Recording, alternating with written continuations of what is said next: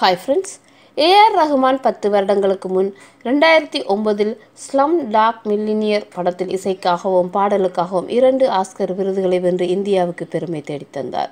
இதை கொண்டாடும் விதமாக ஸ்லம் டாக் மில்லினியர் படத்தின் பத்தாம் ஆண்டு விழா மும்பை தாராவில் பகுதியில் ஏற்பாடு செய்யப்பட்டிருந்தது. நிகழ்ச்சியின் ஒரு பகுதியாக ஏஆர் ரஹ்மானின் அவரின் மூத்த மகள் கதீஜா ரஹ்மானுடன் உரையாடுவது போல் அமைக்கப்பட்டிருந்தது. அப்போது பேசிய கதீஜா அப்பாவை நினைச்சு ரொம்ப பெருமையாக இருக்கு. இந்த பெருமைக்கு காரணம் அவரோட உலக புகழ் இல்லை அவருக்கு நல்லா வர்ற இசை இல்லை.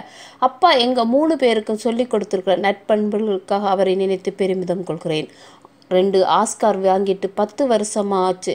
இன்னும் அப்பா அதே ரஹ்மானாக தான் இருக்காரு. அணு அளவும் அவர் மாறலை. அப்போ எப்படி இருந்தாரோ அதே மாதிரி தான் இருக்கீங்க. என்ன எங்கள் கூட இருக்க நேரம் மட்டும் குறைஞ்சிருக்கு. சினிமா மட்டுமல்லாமல் தனிப்பட்ட முறையிலும் அப்பா சிறந்து விளங்கினார். ஒருத்தருக்கு உதவி செஞ்சார்னா கூட மூணாவது ஆள்கிட்ட சொல்லிட்டு தான் சில விஷயம் எனக்கு தெரிய வரும்.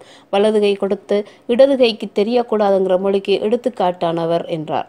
நாங்கள் எங்களோட வேலைகளுக்கு போக போகிறோம். எங்களுக்கு நீங்கள் கொடுக்குற அட்வைஸ் என்னவென்று கேட்டார். அதற்கு பதிலளித்த ரஹ்மான் நான் யாருக்கும் அட்வைஸ் பண்ண மாட்டேன். உங்கள் மனசு சொல்கிறத கேளுங்க. எங்கள் அம்மா எனக்கு சொல்லி தந்ததை நான் உங்களுக்கு சொல்லித் தரணும். உங்கள் மனசு தான் உங்களுக்கு சிறந்த வழிகாட்டி என்றார். மீண்டும் ஒரு புதிய தகவலுடன் உங்களை சந்திக்கிறேன்.